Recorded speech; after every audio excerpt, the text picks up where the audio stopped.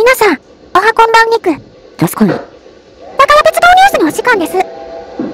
月29日水曜日の A 肉の日に、我が家鉄道 NK 事業部は、今年も、鉄道模型プラレール走行会を、子供園にて開催しました肉。今回の NK ジオラマは、さらなるバージョンアップを行い、高架線路や電動式停車台を設置し、情景も、去年度より豪華になりました。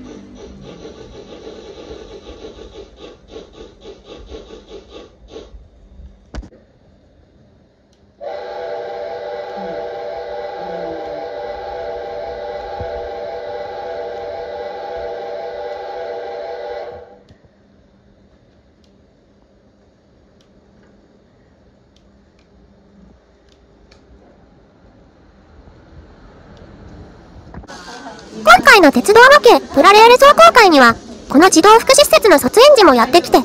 らに賑やかなイベントとなりました。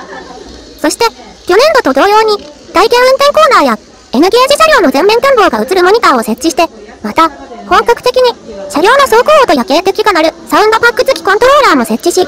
児の皆さんを飽きさせない工夫を施しました。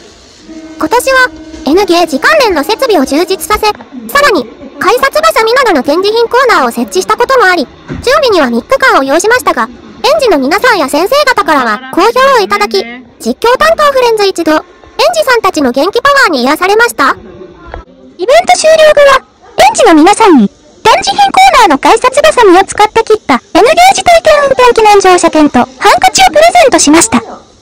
児の皆さんは、去年度よりも、しっかり者のお兄ちゃんやお姉ちゃんになり、次のイベントを楽しみにする様子を見せていました。長屋鉄道は、これからも、面白い企画を、動画やブログにじゃんじゃん投稿していく方針を明らかにしております。それでは、ご視聴、ありがとうございにく。どすこいよ。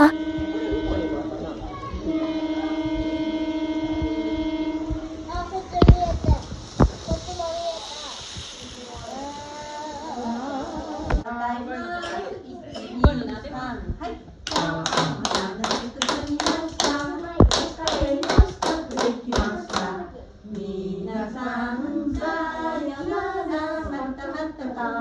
và đồng